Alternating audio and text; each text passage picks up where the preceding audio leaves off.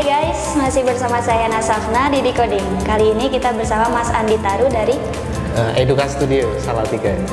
Oh ya Mas, uh, bisa dijelasin nggak uh, Eduka Studio itu seperti apa? Oke, okay, Eduka Studio adalah pengembang game edukasi untuk anak umur 2 sampai 12 tahun. Oke, okay, uh, tema kita kali ini yaitu How to Survive dalam Game Industry. Uh, ya yes, ini tuh sangat menarik sekali karena kan banyak developer yang baru berkecimpung di dunia tersebut kan. Hmm. Nah, menurut Mas Andi apa sih yang harus diperhatikan atau dilakukan para developer untuk survive? Oke, okay.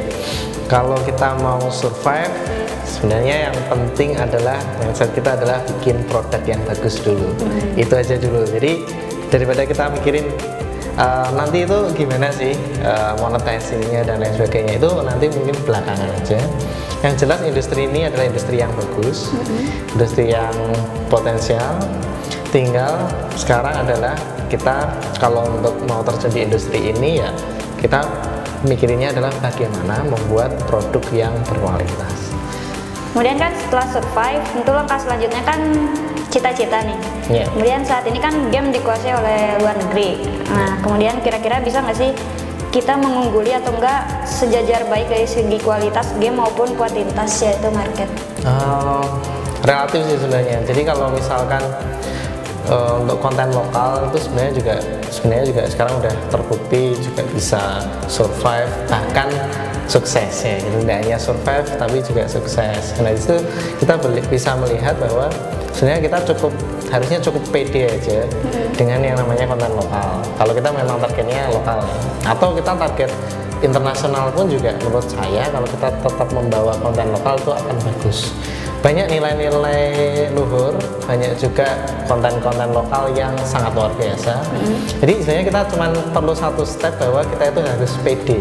Mm. Pede aja kita pakai konten lokal kita dan yakin bahwa konten lokal kita itu bisa diterima oleh orang lain. Itu sih yang saya percaya bahwa kita harus banyak membawa konten lokal supaya kita bisa membawa industri games ini lebih baik. Berarti yang difokuskannya tuh di lokalnya sendiri gitu? Kontennya konten lokal. Konten lokal. Ya selain itu kan konten lokal juga beragam juga kan ya di Indonesia. Yeah, itu bisa dispesifikasikan nggak? Karena keberagaman inilah sebenarnya yang sebenarnya kita menjadi kaya kan seperti itu. Jadi uh, misalnya kita angkat dari suatu daerah tertentu kan tidak apa-apa. Mm. Kita angkat dari daerah tertentu kemudian kita spread ke seluruh dunia bahkan tidak hanya orang Indonesia pada umumnya yang tahu kita seluruh dunia bisa tahu bahwa konten ini adalah konten yang menarik Oke, okay.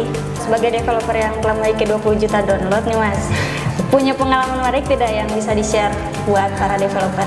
Oke, okay, untuk developer kalau ingin terjun di industri ini saya kira kuncinya adalah loop ya. Tadi kan saya bilang di awal bahwa bikin produk yang berkualitas, kemudian loop.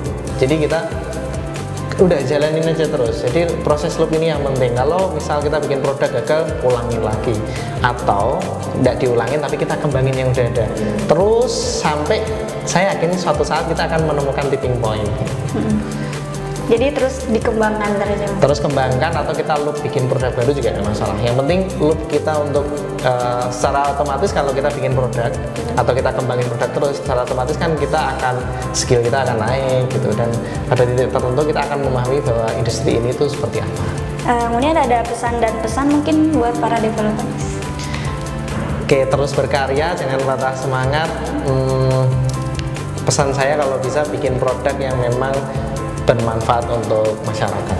Uh, terima kasih Mas atas waktunya. Sama-sama. Saya Ena Safna, pamit undur diri, sampai jumpa.